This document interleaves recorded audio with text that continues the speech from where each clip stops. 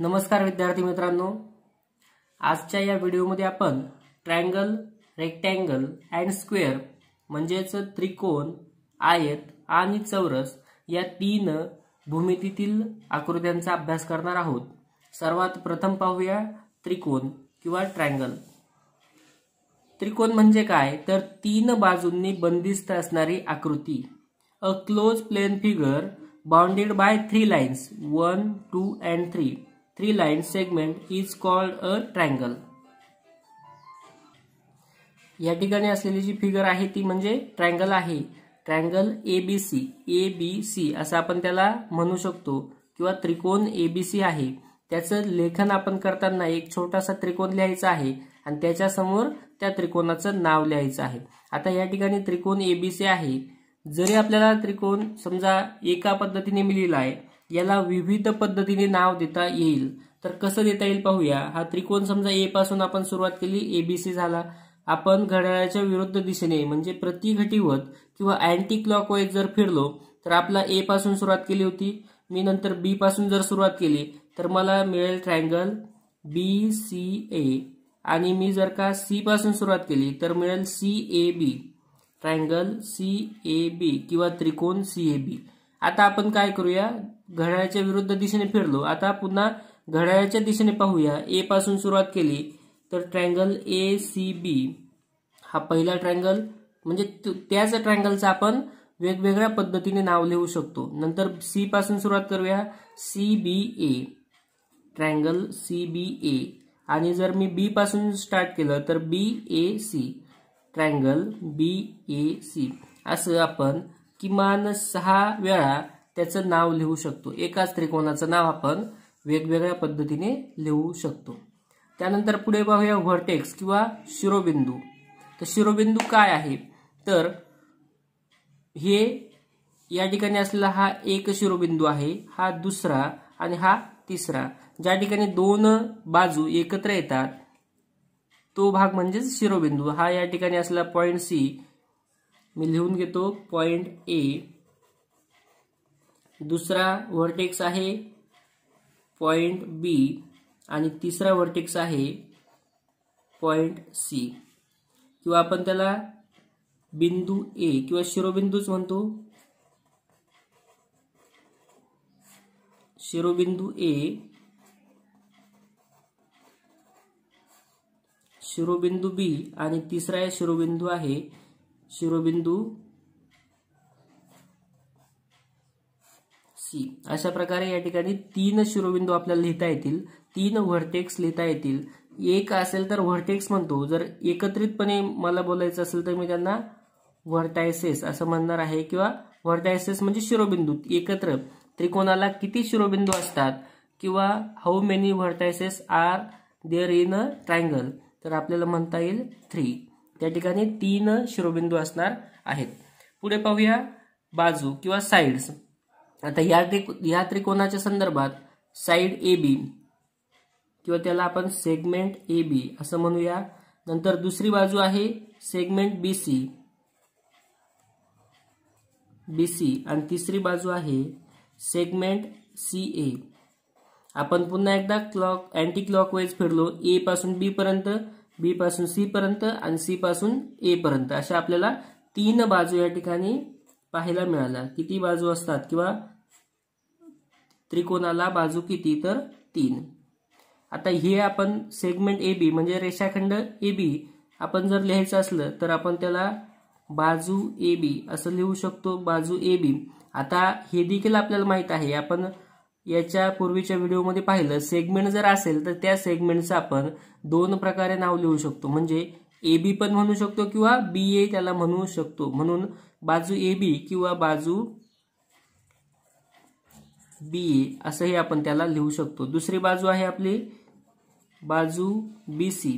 तर या बाजूला आपण बाजू बी सी तर सी बी सुद्धा लिहू शकतो. म्हणून मी या इकडच्या बाजूला लिहितो बाजू सी बी. आणि तिसरी बाजू आहे बाजू सी ए.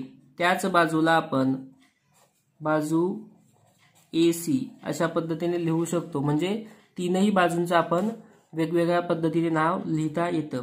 परंतु साईड्स किती आहेत? तर तीन साईड आहेत किंवा बाजू तीन आहेत असं आपल्याला म्हणता येईल. पुढचा भाग पाहूया. Angles of of the triangle त्रिकोणाचे कोण तर त्रिकोणाला किती कोण असतात? तर जेवढे त्याला व्हर्टेक्स आहेत किंवा जेवढे व्हर्टायसेस आहेत शिरोबिंदू आहेत तेवढे त्याला कोण असतात. मग या ठिकाणी थ्री व्हर्टायसेस तीन होते. म्हणजेच अँगल सुद्धा किती असणार आहेत? थ्री कोण त्रिकोणाच्या कोणांची संख्या तीन असते. तर आता पाहूया कोणते कोणते आहेत. तर सर्वप्रथम मी लिहितो अँगल ए दुसरा अँगल आहे अँगल बी आणि तिसरा अँगल आहे अँगल सी आता या कोणांची जी नावे आहेत ती लिहिण्याच्या सुद्धा पद्धती आपण मागील व्हिडिओमध्ये पाहिल्या. कोण असेल तर त्या कोणाचं आपण तीन प्रकारे नाव लिहू शकतो. समजा हा ए अँगल आहे. तर आपण ए मध्ये ठेवायचा. बी पासून सुरुवात केली तर बी ए सी म्हणून अँगल बी ए सी किंवा त्यालाच आपण बी पासून सुरुवात केली होती आता सी पासून करूया. सी ए बी म्हणून अँगल सी ए बी परंतु आपण लक्षात घेतलं तर मुख्य अँगल आहे तो ए आहे. मध्यभागी तोच येणार आहे. दोन्ही तिन्ही ठिकाणी पाहिलं तर ए आहे.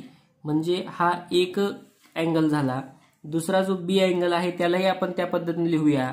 अँगल बी आहे मुख्य अँगल बी तर इकडून सुरुवात केली तर A B C angle A B C आणि त्याच अँगलला बी जागेवर ठेवू. इकडून सुरुवात झाली. आता इकडून करूया.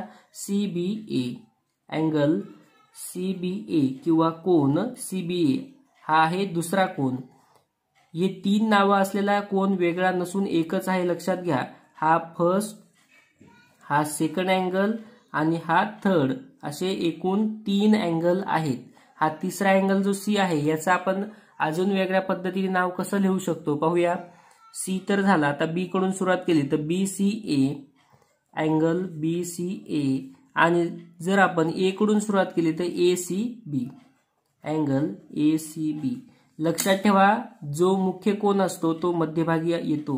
म्हणजे सी या ठिकाणी मध्ये आलेला आहे. इथे बी मध्ये आलेला आहे आणि इथे ए मध्ये आला आहे याचा अर्थ मुख्य जे अँगल आहे ते अँगल ए अँगल बी आणि अँगल सी असे एकूण तीन किंवा there are three angles in a triangle पुढे पाहूया क्वाड्रिलेटरल किंवा चौकोन. आता ज्या पद्धतीने आपण त्रिकोण पाहिला की तीन बाजूंनी बंदिस्त आकृती तसं चौकोन म्हणजे चार बाजूंनी बंदिस्त आकृती. पुन्हा या ठिकाणी सुद्धा बाजू ए बी बाजू बी सी बाजू सी डी आणि बाजू डी ए या चार बाजू एकमेकाला टच आहेत आणि चारही बाजूंनी ही आकृती बंदिस्त आहे ओपन नाही. तर ही आकृती म्हणजे चौकोन होय. चौकोन लिहिण्यासाठी आपण एक छोटा चौकोनाचं साईन वापरणार आहोत. चौकोन ए बी सी डी असं आपण त्याला म्हणायचं आहे. पुन्हा एकदा सांगतो ज्या पद्धतीने आपण त्रिकोणाला अँटी क्लॉकवाईज आणि क्लॉकवाईज अशा पद्धतीने नाव लिहू शकतो. तसं या क्वाड्रिलेटरलला किंवा चौकोनाला सुद्धा आपण लिहू शकतो. समजा मी ए पासून सुरुवात केली तर ए बी सी डी हा एक चौकोनाचं नाव लिहिलं. मी चौकोन ए बी सी डी जर मी बी पासून सुरुवात केली तर चौकोन बी सी डी ए फक्त लिहिताना क्रमाने लिहावं लागणार आहे आपल्याला. म्हणजे बी आणि नंतर डी घेतला असं चालणार नाही. बी डी ए सी असं वगैरे काही नाही. पण सुरुवात बीने केली तर बी सी डी ए असं म्हणा. सी ने सुरुवात केली तर सी डी ए बी म्हणा. सी ने तुम्ही इकडूनही वाचलं तरी चालेल परंतु सर्वच्या सर्व क्रमाने घ्यायचे आहेत. बिंदू जे आहेत किंवा जे व्हर्टेक्स आहेत ते आपण क्रमाने घेणार आहोत. सी बी ए डी असं आपण लिहू शकतो. आपण या ठिकाणी फक्त मी एका प्रकारे लिहिलं परंतु तुम्हाला सांगितलं की तुम्ही वेगवेगळ्या पद्धतीने सुद्धा या चौकोनाचे नावं लिहू शकतात. तर चौकोन त्याला चार बाजू असतात.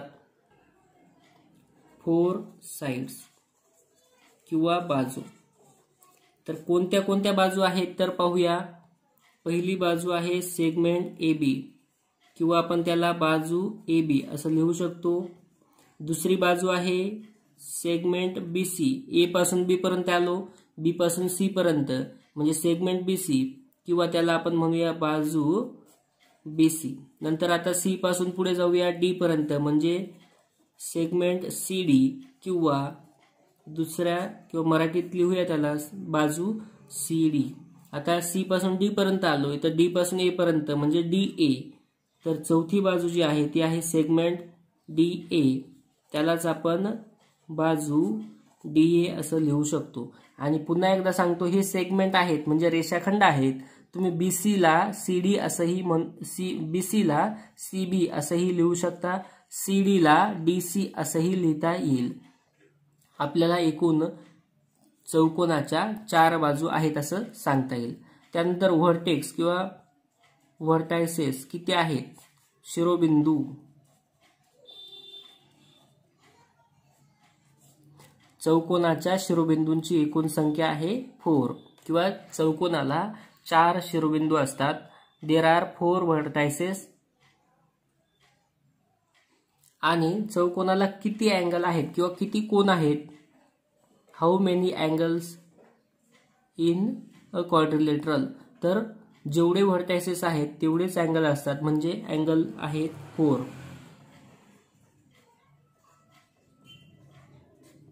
कोणांची संख्या आहे चार. कोणते?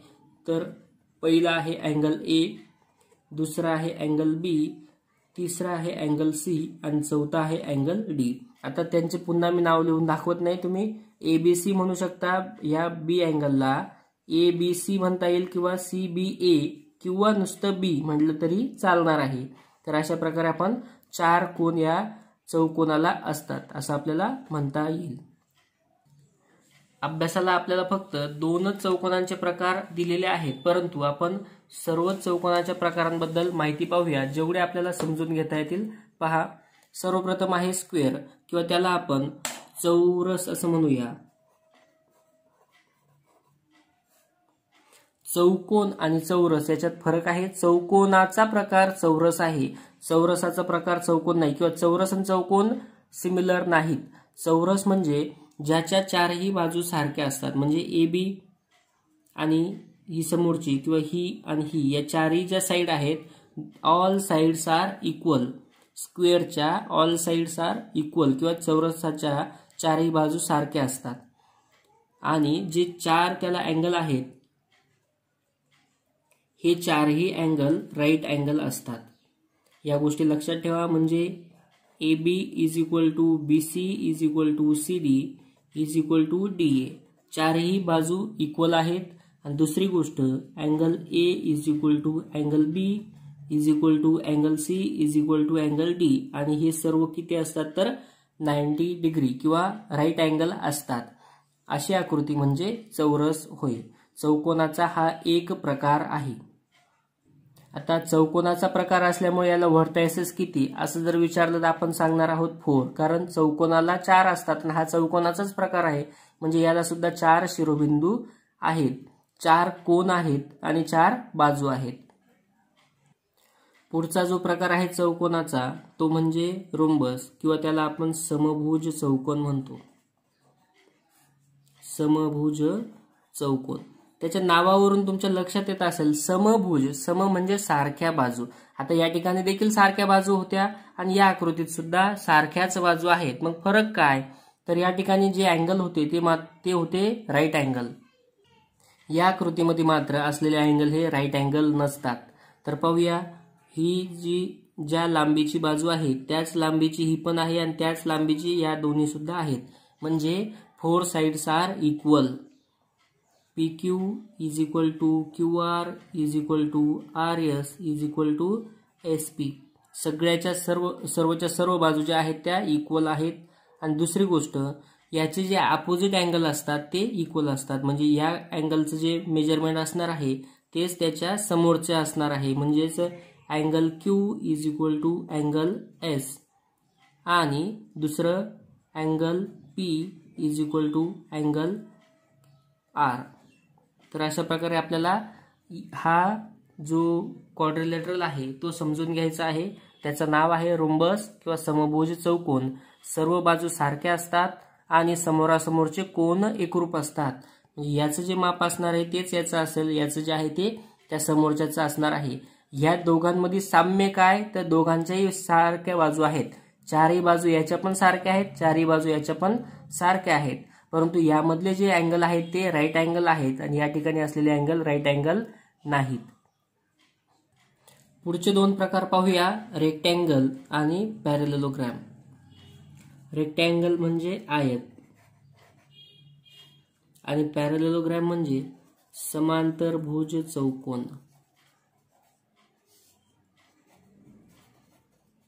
आता दोघांमध्ये काय साम्य आहे आणि काय भिन्नता आहे पाहूया.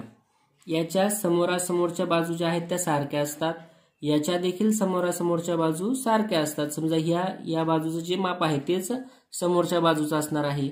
आणि या बाजूचं जे आहे ते या बाजूचं आहे.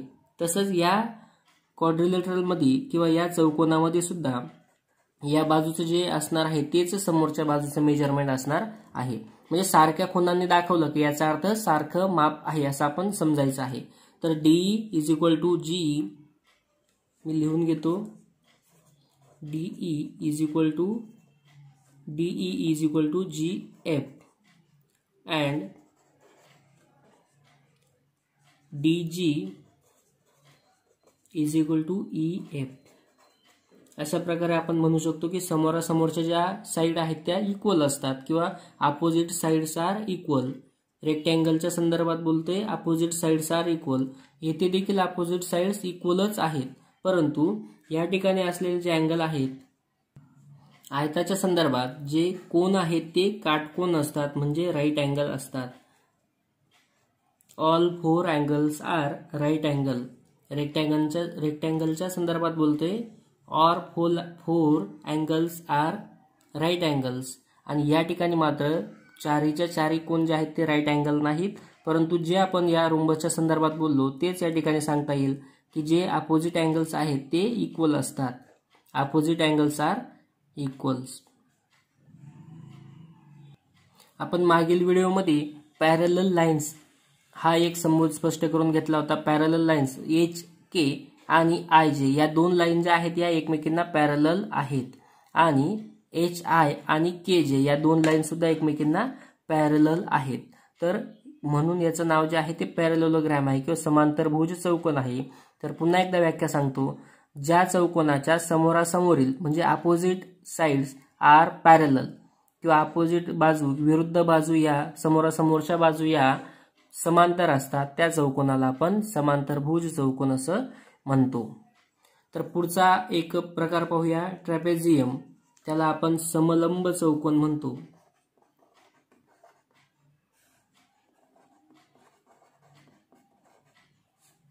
आता या ठिकाणी जर आपण पाहिलं तर दोन्हीच्या ही एक पेअर आहे बाजूंची एक जोडी आणि ही दुसरी जोडी. अशा दोन जोड्या आहेत. एक जोडी ही दुसरी जोडी.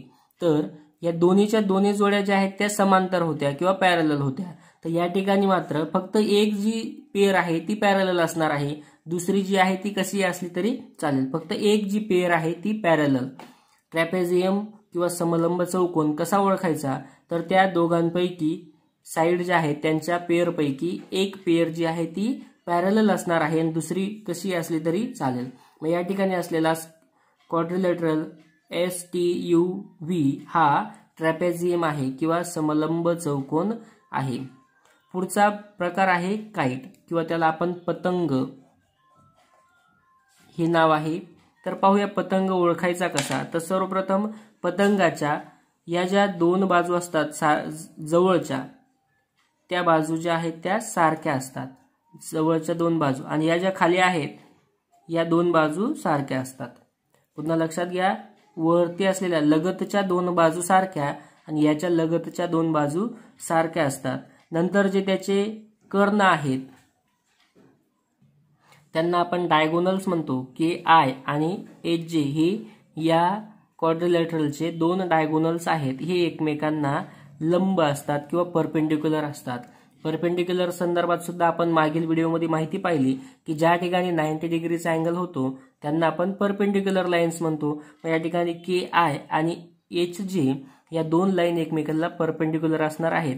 आणि या ठिकाणी एच पासून ते या पॉईंटपर्यंत समजा त्या ठिकाणी मी नाव दिलं पी तर एच पी आणि पी जे हे जे डिस्टन्स आहे समजा मी या ठिकाणी ज्या साईनने दाखवलं तेच इकडे आहे. म्हणजेच हे जे H P is equal to P J अशा पद्धतीने हे दोघं जे डायगोनल्स आहेत ते एकमेकाला छेदतात. तर ही आहे पतंगाची आकृती. अशा प्रकारे तुम्हाला निदान ओळखता यावे. चौकोनाचे वेगवेगळ्या प्रकारांची ओळख व्हावी म्हणून मी एक्स्ट्रा ॲड केलं. परंतु आपल्याला मुख्य म्हणजे या दोन गोष्टी पुन्हा एकदा समजून घ्या. स्क्वेअर म्हणजे चौरस. चौरसाच्या समोरासमोरच्या बाजू किंवा ऑल साईड्स आर इक्वल आणि सर्व अँगल जे आहेत ते नाईन्टी डिग्रीचे असतात. आणि दुसरा एक भाग आहे रेक्टँगल रेक्टँगलच्या संदर्भात अपोजिट साईड म्हणजे समोरासमोरच्या ज्या साईड आहेत त्या इक्वल असणार आहेत. आणि जे समोरासमोरच्या साईड इक्वल आणि all angles are rect all angles are right angle किंवा चारही कोण नव्वद अंशाचे असतात. म्हणजेच काटकोन असतात. या दोन आकृत्यांच्या संदर्भात आपल्याला या पाठामध्ये प्रश्न विचारले जातील किंवा पाचवी या इयत्तामध्ये आपल्याला पुढे देखील चौरस आणि आयत यांच्या संदर्भामध्ये परिमिती काढणे आणि क्षेत्रफळ काढणे. ह्या दोन गोष्टींचा अभ्यास करायचा आहे. फक्त या दोन आकृत्या तरी किमान तुमच्या लक्षात असायला पाहिजे. हे बाकीचे प्रकार फक्त माहितीस्तव आपण अभ्यासले. पाहूया पहिला प्रश्न. How many vertices are there in given figure आता या आकृतीमध्ये शिरोबिंदूंची संख्या आपल्याला विचारलेली आहे. शिरोबिंदू. ज्या ठिकाणी दोन साईड एकत्र आलेले आहेत ते शिरोबिंदू. आणि या ठिकाणी आपल्याला टू ट्रँगल्स दिसत आहे म्हणजे दोन ट्रँगल आहेत. एका ट्रँगलला किती शिरोबिंदू असतात? थ्री दुसऱ्या ट्रँगलचे थ्री म्हणजे टोटल व्हायला पाहिजे सिक्स परंतु या ठिकाणी हा जो आहे हा दोघांमधला कॉमन आहे. म्हणजे बघूया. One two three four and five म्हणून आपण म्हणू शकतो या ठिकाणी किती व्हर्टायसेस आहेत? तर फाईव्ह व्हर्टायसेस किंवा पाच शिरोबिंदू. या आकृतीमध्ये शिरोबिंदूंची संख्या किती तर पाच शिरोबिंदू आहेत. पुढचा प्रश्न how many rectangles are there in the figure आकृतीत किती आयत आहेत? ज्यावेळेस या पद्धतीचं उदाहरण असेल आणि आपल्याला आय आयतांची संख्या विचारली किंवा रेक्टँगल्स किती असं जर विचारलं तर त्यावेळेस आपण वन टू अशा पद्धतीने सरळ लाईन लिहून घ्यायची आहे. आणि खाली सुद्धा वन टू असं लिहून घ्या. अजून एक उदाहरण घेतलंय मी मुद्दाम समजण्यासाठी. तर या ठिकाणी वन टू थ्री असं लिहून घेतलं. आणि खाली सुद्धा वन टू थ्री जेवढे असतील तिथपर्यंत लिहून घ्यायचं आहे. आणि त्यांचे टोटल सम या ठिकाणी लिहायचे आहे. थ्री प्लस टू लिहितोच मी one plus two plus three. तर हे येतात तीन आणि दोन पाच अधिक एक सहा म्हणजे सिक्स. आणि या ठिकाणी सुद्धा येणार आहेत one plus two plus three. यांची आपण केलेली आहे समती आलेली आहे सिक्स आता या ठिकाणी आलेला आन्सर आणि हे आन्सर यांचं आपण करायचे मल्टिप्लिकेशन म्हणजे सिक्स इंटू सिक्स तर सहा सहा छत्तीस. तर आपल्याला म्हणता येईल या ठिकाणी असलेले रेक्टँगल्स किती आहेत तर?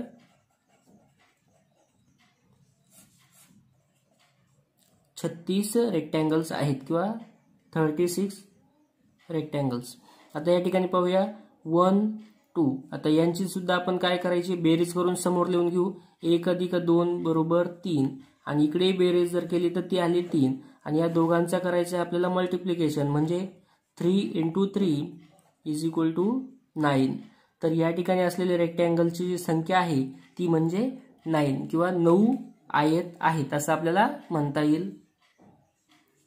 A rectangle has dash dash sides आता रेक्टँगल कसा असतो आपल्याला माहीत आहे आपण पाहिलं की ज्याच्या समोरासमोरच्या बाजू सारख्या असतात तो म्हणजे रेक्टँगल आणि चारही जे अँगल आहेत ते कसे असणार आहेत? राईट अँगल तर हा आहे रेक्टँगल मग या आयताला किती बाजू असतात? आता कोणताही जर आपण क्वाड्रिलेटरल घेतला किंवा चौकोन घेतला तर त्या चौकोनाला चार बाजू असणार आहेत. Sides four vertices four angles four. म्हणजे बाजू चार शिरोबिंदू चार आणि कोण सुद्धा चार असणार आहेत. आपल्याला विचारलेलं आयताला किती बाजू असतात तर चार किंवा four sides a rectangle has four sides how many triangles in the given figure आकृतीत एकूण त्रिकोण किती? त्रिकोणांची संख्या मोजायची आहे. वरवर पाहता पाहिलं तर एक दोन तीन आणि चार. चार त्रिकोण आपल्याला दिसत आहे. आणि हा जो मोठा वरती आलेला आहे हा पाच. असे एकूण पाच त्रिकोण या ठिकाणी आहेत. फाईव्ह ट्रँगल्स किंवा पाच त्रिकोण या आकृतीमध्ये आपल्याला दिसत आहे. पुढचा एक प्रश्न त्याच प्रकारचा आहे. Look at the figure right the total number of vertices of a triangle आकृतीतील त्रिकोणांच्या शिरोबिंदूंची संख्या आपल्याला शोधायची आहे. पुन्हा एकदा पाहूया. ज्या ठिकाणी दोन साईड्स एकत्र आलेल्या आहेत पण ट्रँगल पाहूया. एक दोन आणि तीन. किंवा देर आर थ्री ट्रँगल्स असं आपण दिसतंय. वरवर पाहता आपल्याला तीन त्रिकोण दिसत आहे मग तीन त्रिकोणांचे तीन त्रिकोण नऊ शिरोबिंदू होतील. परंतु पाहूया किती होत आहेत हा एक दोन तीन चार आणि हा एक पाच. असे फक्त पाच शिरोबिंदू या ठिकाणी आहेत. किंवा पाच शिरोबिंदू. मी ज्या पद्धतीने असे डॉट हे करून घेतलेले आहे सर्कल असं करून तुम्हाला पटकन शोधता येईल की किती शिरोबिंदू आहेत. तर ज्या ठिकाणी बाजू एकत्र आलेल्या आहेत तो त्या ठिकाणी असलेला शिरोबिंदू आहे. तर बघूया. एक दोन तीन चार आणि पाच. म्हणून आपण म्हणणार आहोत या ठिकाणी पाच शिरोबिंदू आहेत किंवा देर आर फाईव्ह व्हर्टायसेस एक शेवटचा प्रश्न पाहूया फक्त. Which of the following is wrong statement खालीलपैकी चुकीचं विधान कोणते? All angles of a square are right angles आपण पाहिलं. पुन्हा एकदा पहा. स्क्वेअरच्या संदर्भात विचारलं. चारही अँगल हे राईट अँगल असतात असं सांगितलं. यस चारही अँगल हे राईट अँगल असतात. विधान आहे. हे बरोबर आहे. चौकोनाचे चौरसाचे सर्व कोण हे काटकोन असतात हे विधान बरोबर आहे. त्यानंतर दुसरं पाहूया. All the sides of a square are of equal length चौरसाच्या सर्व बाजू समान मापाच्या असतात. पुन्हा आकृतीकडे पहा. आपण या ठिकाणी सेम ज्या आहेत त्या सारख्या खुणा या ठिकाणी केलेल्या आहेत. त्यामुळं A B is equal to B C is equal to C D is equal to D A. म्हणजे चारही बाजू ज्या आहेत त्या समान मापाच्या असतात.